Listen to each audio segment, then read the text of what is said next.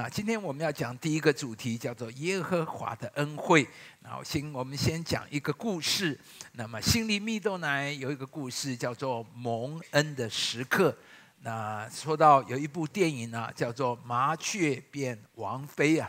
那这个女主角佩奇呢，她是来自美国乡下的一个平凡的女孩啊。那家里有一座牧场，可是她却向往成为医生呢。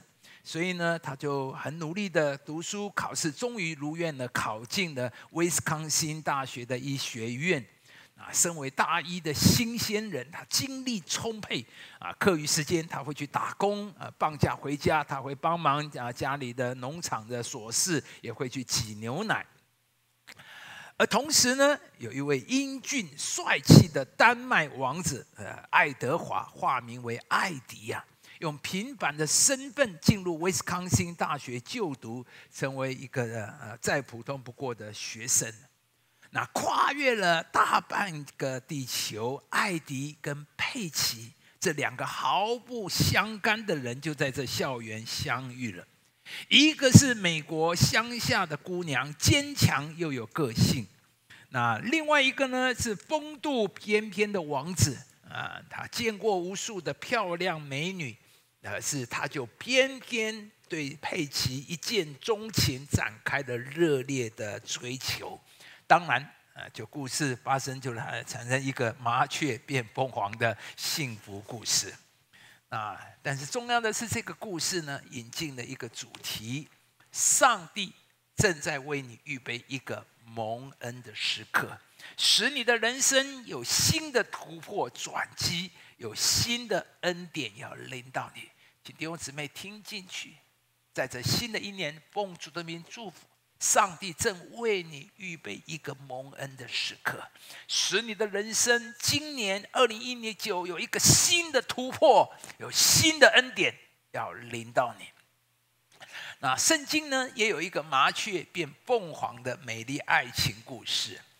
那拿尔米因为呃饥荒的关系，她就跟着丈夫两个儿子来到了移民到摩押这个地方。没想到几年之后，她的丈夫跟两个儿子都相继过世。那拿阿米呢，就痛苦的带着他的媳妇回到伯利恒的老家。而哪有想到，这个路德竟然遇到了当地的大财主波阿斯！那波阿斯是一个事业有成的中年男士，而且尚未娶妻。很显然的，波阿斯的眼光非常的高。而路德呢，是一个外邦女子，就像我们今天在这里的外籍新移民一样，又是一个贫穷的寡妇。这两个人背景相差太多了，门不当户不对，怎么凑也凑不起来。波阿斯可以做个善人，呃，这个施舍一点米，或者是呃，对呃，这个呃呃，这个路德。呃，好一点这就可以了。可是上帝没有什么不能做的事，竟然让波斯爱上了这位心灵美丽的路德，娶她为妻。当然，从此拿尔米、路德这对婆媳的命运就完全的改变。这是拿尔米蒙恩的时刻。是路德蒙恩的时刻，弟兄姊妹，这也是你我蒙恩的时刻。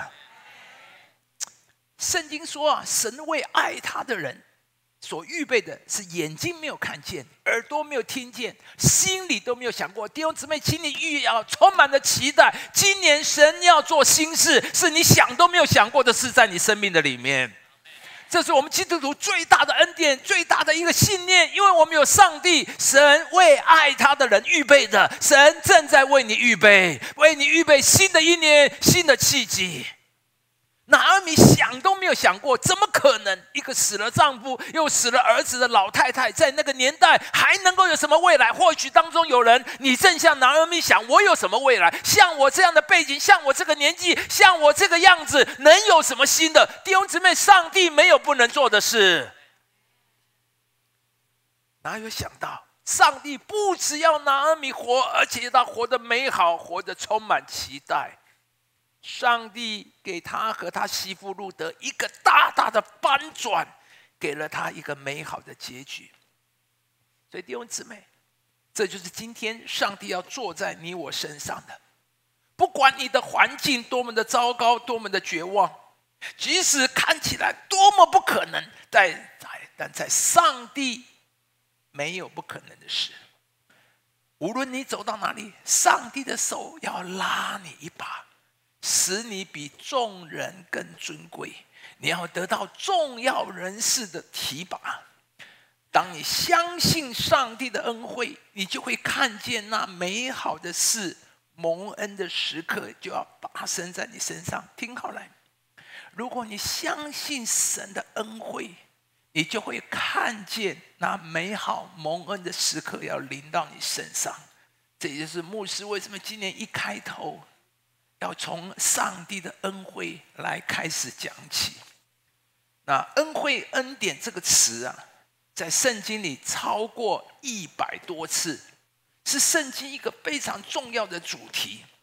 这样，他太书说：“愿恩惠平安从父神我们的主耶稣基督归于你们。”这是保罗最多的问安词。保罗对弟兄姊妹最多的问安就是：“愿恩惠从神领导你们。”启示录最后一章，基本是最后一节，他说是全本圣经的结束。他说：“愿主耶稣的恩惠。”常与你们同在。圣经结束在保罗最多的问安是恩惠。圣经整本结束在神的恩惠里面。诗篇二十七篇说：“我若不信在活人之地得见什么耶和华的恩惠。”所以大卫在这里说什么？他在活人之地得见了什么？所以耶和华的恩惠是可以见的。所以弟兄姊妹，恩恩惠不是别人的，耶和华的恩惠是可以见的，是我们的，是可以得到的。盼望今天我们从这个礼拜。每一个礼拜，你要进到耶和华的恩惠，你也要说主啊，我信，我不信，我若没有我见耶和华的恩惠，我就会上胆。二零一七年，你二零一九年，你凭什么往前走？大卫说：“我是凭着耶和华的恩惠，而不至于上胆。”换句话说，如果没有耶和华的恩惠，他说我早就上胆了。盼望我们每一位基督徒，你今年新年一开始。要在耶和华的恩惠底下。我们下面来看两个圣经的例子。第一，我们看亚伯拉罕，神以恩惠环绕他。凡属上帝的儿女都要见耶和华的恩惠，而是亚伯拉罕一生更是上帝用恩惠环绕他。正如诗篇说的：“因为你必赐福于一人，耶和华你必用。”下面一起来读来。恩惠如同盾牌，四面环绕。弟兄姊妹，在古代，盾牌就是一个保护你的人生、你的婚姻、你的家庭、你的健康、你的身体、你的事业，什么在保护你？用神谁谁在护卫你？感谢主，作为上帝的儿女，好不好？太好了！这里说，上帝要用恩惠做盾牌，四面围绕我们。感谢主，今天回去你要说：主啊，感谢你！我这边看到耶和华恩惠，这边看到耶和华恩，往这里看，因为耶和华的恩惠如同盾牌，怎么四位围绕我们？而且他恩惠不但他围绕我们，他是一个盾牌，是保护我们的。上帝用恩惠要保护你的新的一年。亚伯拉罕最明显的例子，他的妻子被夺走，亚伯拉罕到了将来往南地，到了做居住在基拉尔，然后亚比米勒王基拉尔的亚比米勒看到撒拉喜欢他，就把亚伯拉罕的妻子拿走了。对亚伯拉罕，他的妻子被夺去，亚伯拉罕哭天抢地，怎么办呢？他是一个新移民，他是一个小猪，跑到人家寄居的人家，人家的王把你的妻子抢走了，请问弟兄啊，你要怎么办？你今天跑到越南，你跑到印尼，住在人家那，就证明你一家两个人，然后老婆被抢走了。请问你要怎么样？你要跟他拼命吗？你能够做什么？在古代三千多年前那种强盗土匪的时代里面，你能做什么？亚伯拉罕无力抵抗真的无力抵抗完全不能，完全不能做。弟兄姊妹，请你注意听着。今天上帝用亚伯拉罕这个例子，你完全无力可做的，你完全无法抗拒的一个对方的势力。我们看上帝怎么做。感谢主，上帝说什么？夜间神来在梦中对亚比米勒说什么？你是个死人。看到没有？一个有神恩惠的人，没有人能够碰他。你有没有看到神用？恩惠如同四面盾牌环绕谁？亚伯拉罕。今天你要进入这个恩惠的里面，说神啊，荣获我会碰到亚比米勒王，是我不能抵挡的，是我胜不过的。但是耶和华的恩惠胜过亚比米勒王。有了耶和华的恩惠，没有人能够碰你。第二个例子，我们看寻妻的例子。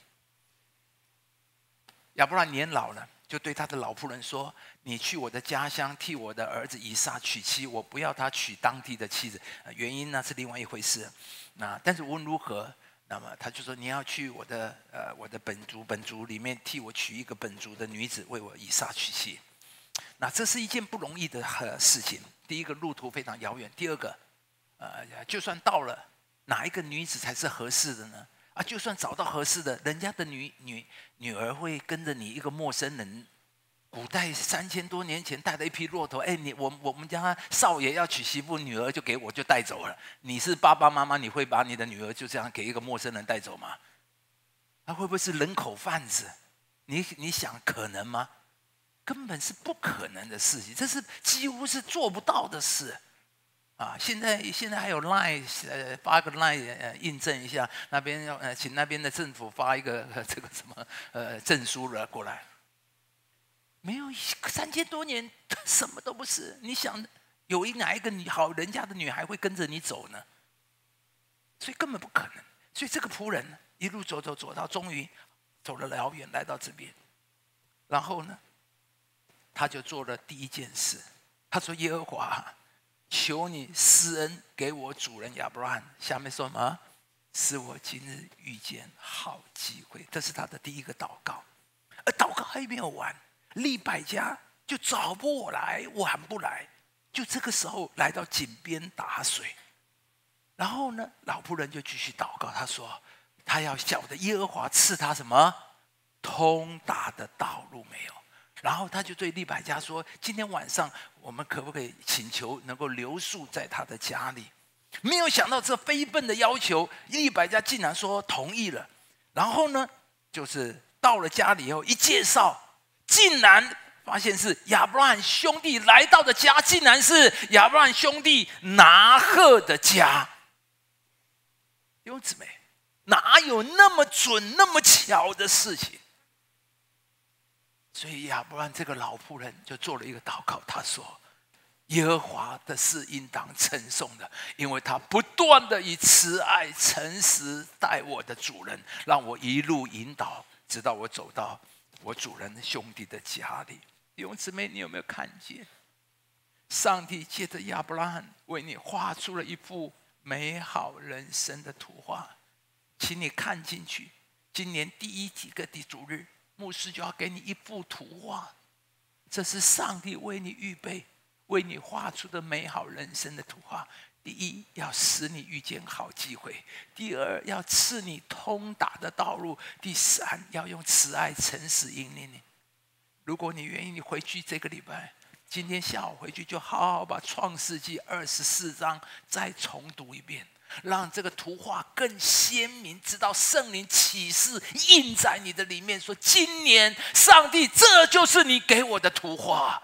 你要赐我遇见好机会，你要赐我通达的道路，用慈爱、诚实引领我。”约尔牧师说：“活出美好的关键在于什么？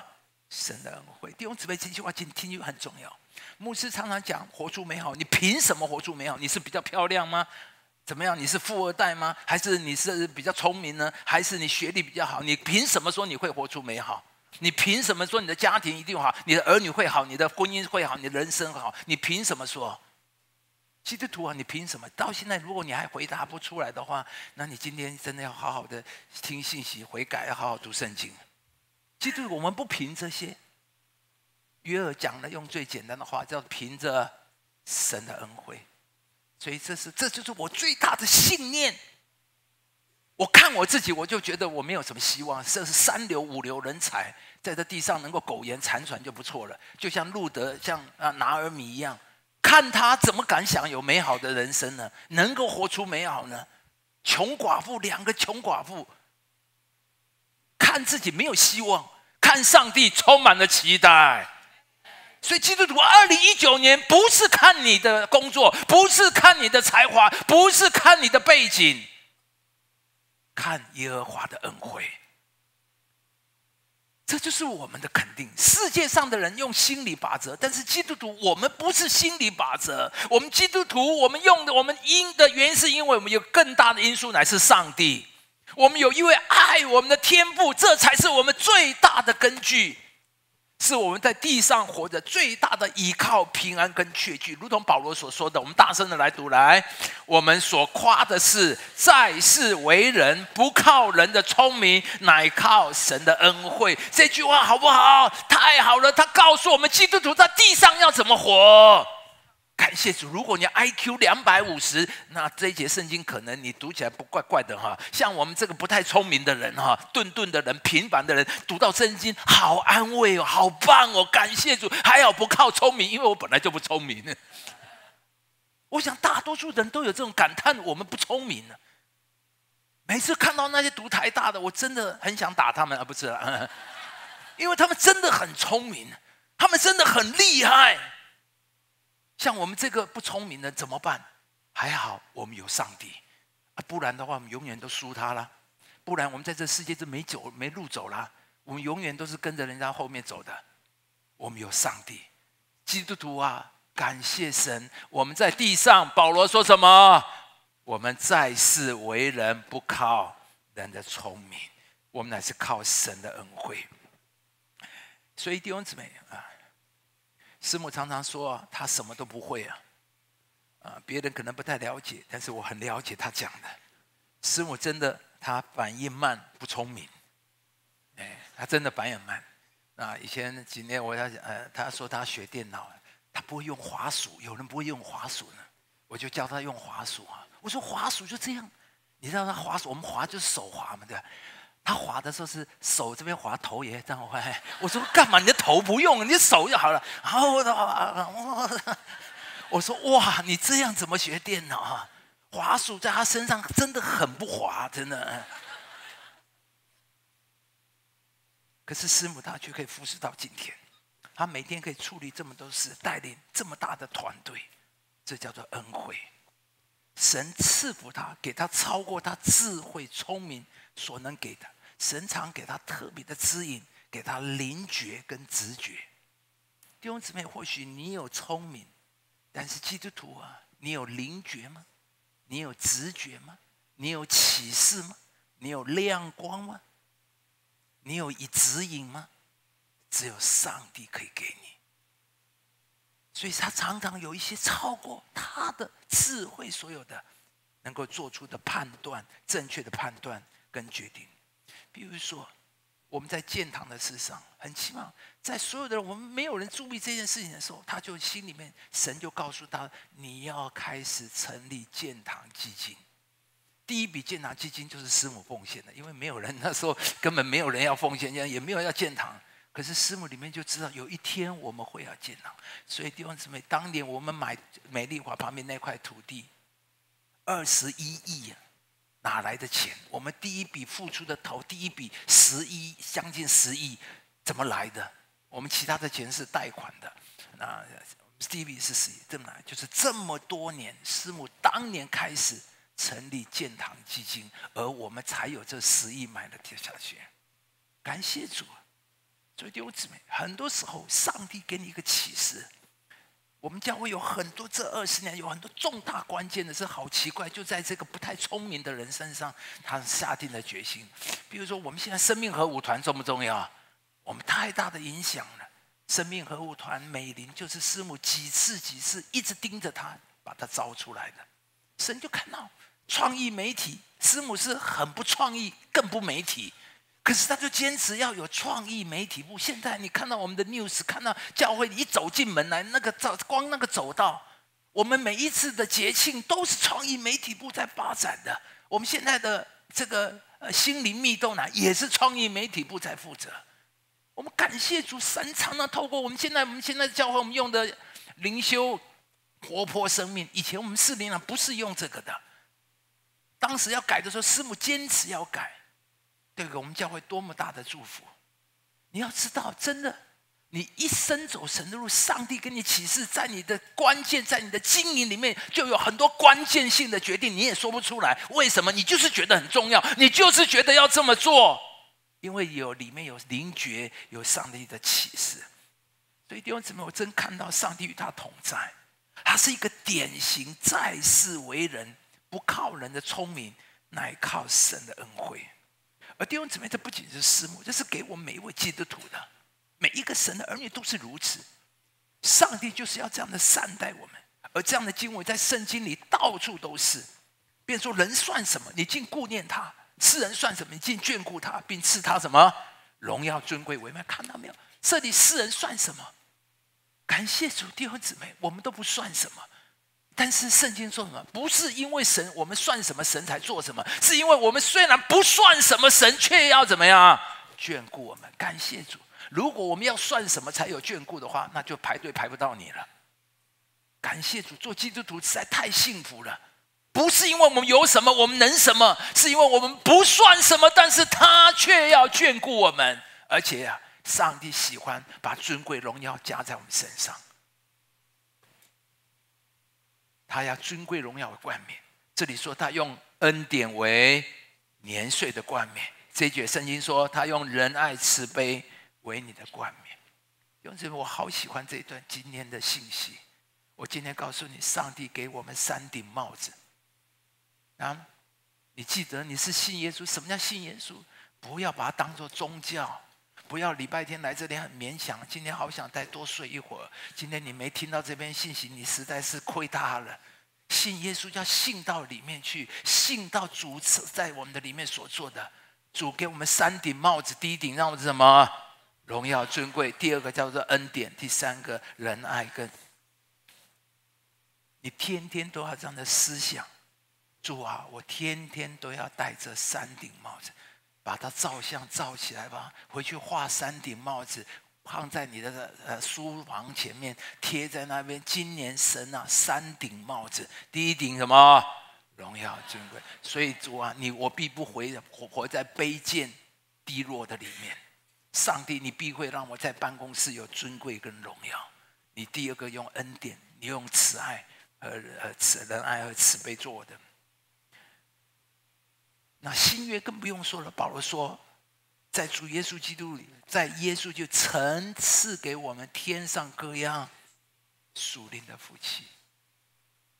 圣经说曾赐给我们，神已经给我们了，而且是什么呀？各样一切。因为圣经说，哦，神一切都已经给我们，一切所有的福都是我们的产业。所以弟兄姊妹。作为神的儿女，怎么会没有美好的人生？怎么会不活出活出美好呢？不可能的！我常常讲，基督徒不可能的，你一定会越活越好。有了耶稣，不可能活得不好，因为耶稣来就是要叫我们得生命，并且得的更丰盛。除了有了耶稣，你就必然有生命，而且有丰盛。如果你有了耶稣却没有这两样，那一定不对的，不然就是耶稣乱讲。如果是这样，你信了耶稣，你怎么可能没有生命、没有丰盛？他来就是要把这两样给我们的。所以基督徒对我来讲，信耶稣，人生不可能不好的。所以我说这一切，都是因为上帝的话，我用人喊没有用啊。我知道有心理所谓什么治心理治呃这这心理作用，但是其实我们不是心理作用，我们乃是根据上帝的话，上帝的话，神的话，神自己才是我们一切，神保证的。所以因为这这是我就是我对我们生命的信念。恩惠，恩惠这个字啊，英文 favor。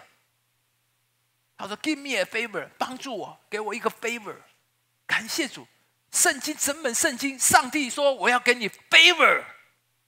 如果有一个老板说我要给你 favor，你去买商店，他说我给你一个 favor，今天打五折，哎，这叫 favor 嘛？你需要帮助，帮助提供特别的好处，并且接受优待，这叫做恩惠。用白话一点的讲，就是神要帮助你，要提升你，要给你好处。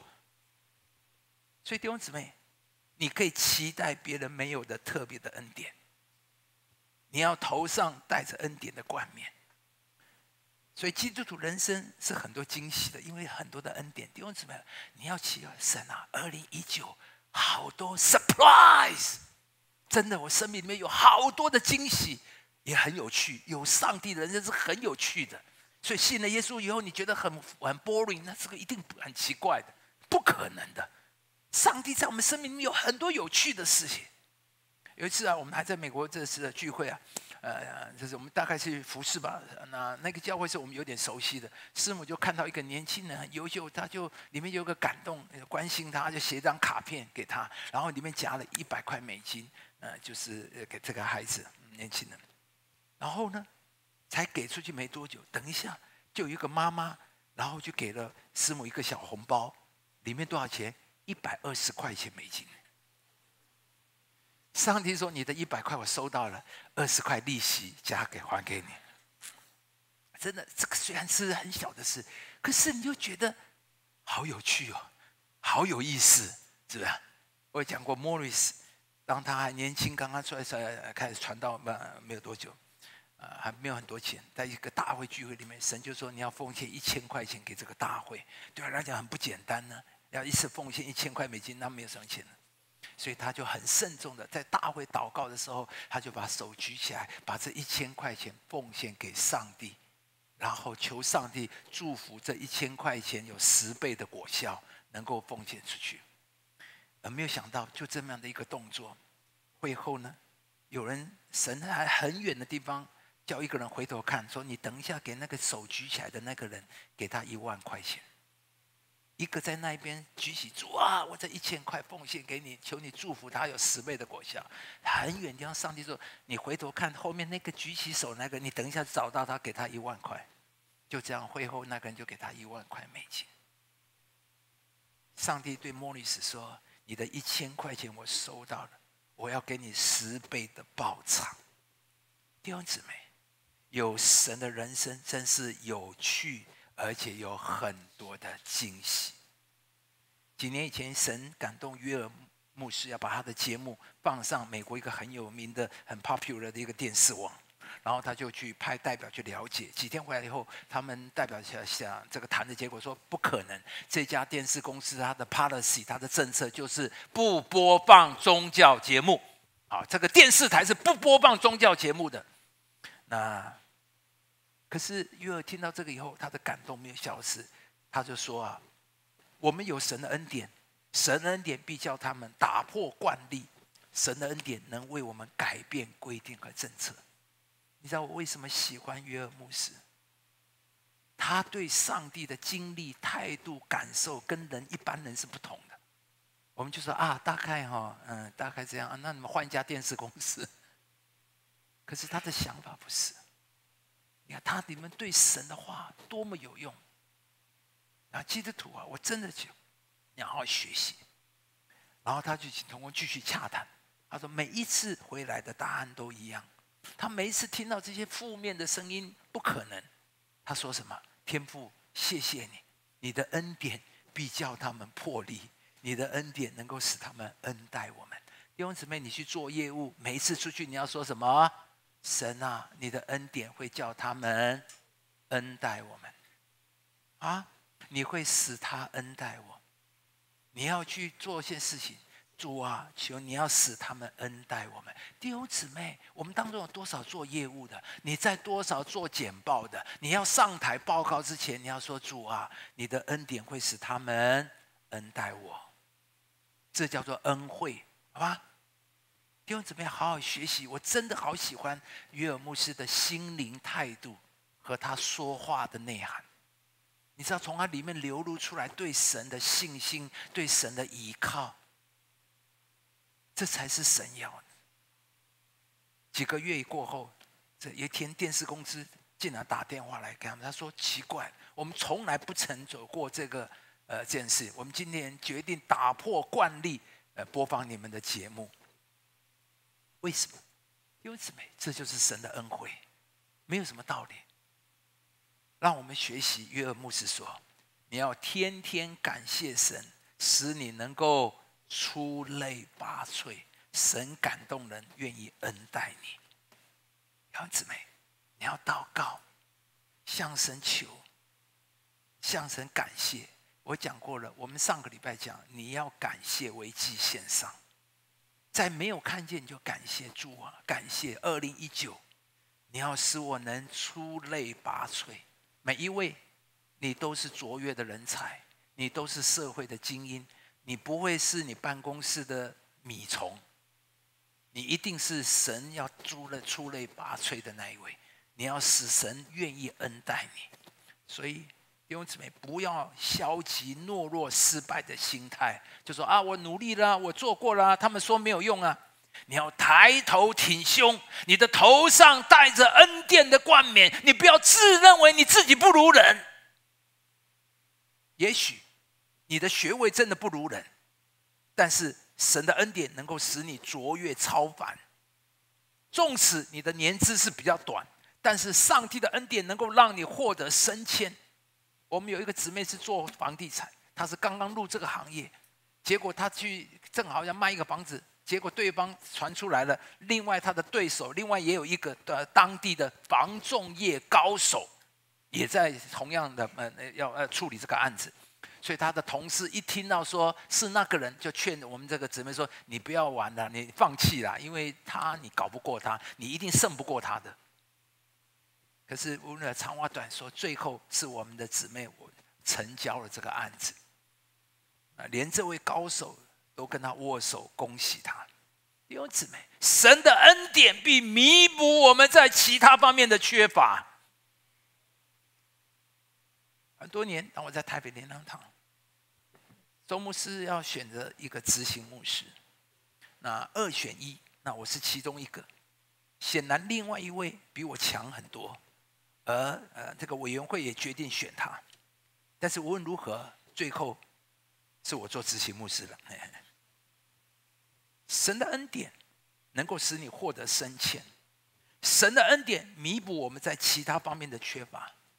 我在想，或许上帝知道有一天我会去适龄，所以必须要执行牧师的历练嘛。啊，一位年轻人去面试，董事会的成员说：“你不是我最有经验的，你也不是资历最棒的，不过你有一些特质是我们欣赏的，所以我们不晓得为什么要录取你，但是我们就是要录取你。”感谢上帝，神的恩惠叫人欣赏我们，叫人愿意帮助我们。这就是第一个，亚伯拉罕，神以恩惠环绕他。弟兄姊妹，让我们今年开始，我们都在亚伯拉罕神的恩惠的环绕底下。第二点是约瑟，耶和华向他施恩，下个礼拜再讲啊。所以下礼拜绝对不要错过。下礼拜其实牧师本来要讲的是如何支取恩惠，神的恩惠太丰富，那没讲完的，我下礼拜继续讲。可是我们要继续，我们要进入耶和华的恩惠。我们在世为人，不靠人的聪明，来靠神的恩惠，好不好？请敬拜团，好吧？今天让我们一起来到主的面前，进入亚伯拉罕，说：“神啊，感谢你，我今天开始。”呃，请弟兄姐妹呃记得三三顶帽子，你要记得创世纪二十四章，上帝对亚伯拉罕的敬。希望我们都记住，我们一起站起来。主啊，我不再靠自己。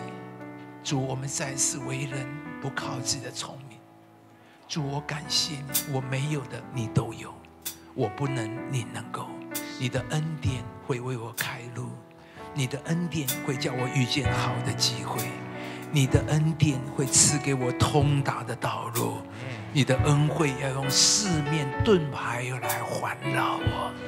你要为自己画这幅的图画，上帝，你要给我用恩典作为我年岁的冠冕。我要奉主的名祝福，因为不靠人的聪明，不靠我有什么，不靠我没有什么，我也不遗憾我没有什么，因为我活着不靠我有什么或我没有什么，我乃是靠上帝的恩惠而活。如果保罗是这样的活，我们还有什么其他的方式来活呢？所以你要相信上帝今天要提升你。你想说主，感谢你，今年你要让我活得捐卓越卓绝，你会让我提升我提拔我，我绝对不会落后，我绝对不会落伍。主啊，你会来恩待我，好不好？我们同声开口，为我们自己听到的信息一个感动，我们同声开口一起来祷告。哦，耶稣啊，我们谢谢你，上帝，你在我们的里面所成就的美事。耶稣，我感谢，让耶和华的恩惠充满在我们的里面，进入上帝你在我们的喜悦的里。主啊，我何等的感谢，赞美你，赞美你，赞美你，你会祝福在我们的当中，你会提升在我们的当中。你会引导在我们的里面，哈利路亚！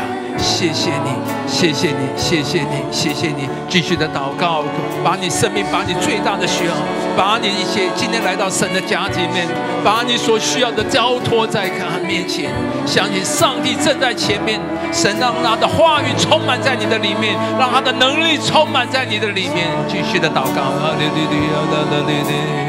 耶稣，耶稣，看到了的的妈妈，下啦啦啦妈妈啦，哦啦啦啦，耶稣的呼啊啦啦，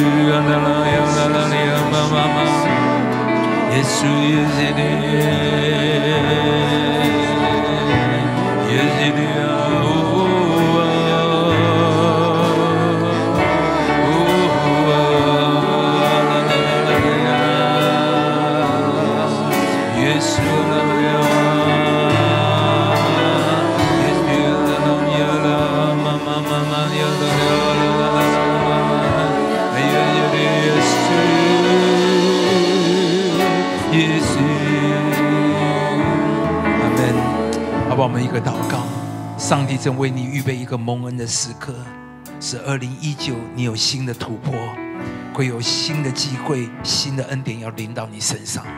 跟上帝讲说，你这二零一九要为我预备我眼睛没有看见的，耳朵没有听过的，你的工作、你的事业、你的领域、你的位分、你所经营的。上帝要赐你一个眼睛，你所没有看见的。你要相信，虽然拿尔米路德怎么看都看不见，但是上帝为他预备的，神为你预备的，就是你想不到的事情。你要充满着期待，相信上帝要恩待你。二零一九，你要打破一切的沮丧。我不要再抬头，要不要再垂头丧气？说上帝。你是我的上帝，因为有你，我要二零一九活得精彩，有新的一个蒙恩的时刻会要临到在我身上。同声开口，一起来祷告。哦，耶稣啊，我们感谢，向上帝支取这个蒙恩的时刻，蒙恩的时刻。哈利路亚，耶稣，耶稣，耶稣，耶稣，我感谢，我感谢你必在我们的里面来做，你必在我们的谢谢祝福在我们的当中突破在我们的里面，我享受在你的里面，我感谢你保守你的儿女都在你的里面，我们一起在耶稣基督的里面，我们感谢你，阿门。主啊，我们谢谢，新的一年多么美好，因为有你，主啊，一切都有可能。给我们信心，给我们勇气，主啊，让我们今年，主啊，在耶和华的恩惠里面来开始我们新的一年。祝福，让创世纪二十四章那个仆人的一个经历，哦，太美好了！主啊，我们要看见二零一九你赐我们通达的道路，我们看见你用仁爱、用慈爱指引引导我们的道路。我们谢谢你。二零一九，你也必给我们好的机会。谢谢主，但愿我主耶稣基督的恩惠、天父的慈爱、圣灵的交通感动，与我们众人同在，从今时直到永远。一起说，阿门。来，首荣耀归给主，上帝赐我们每一位。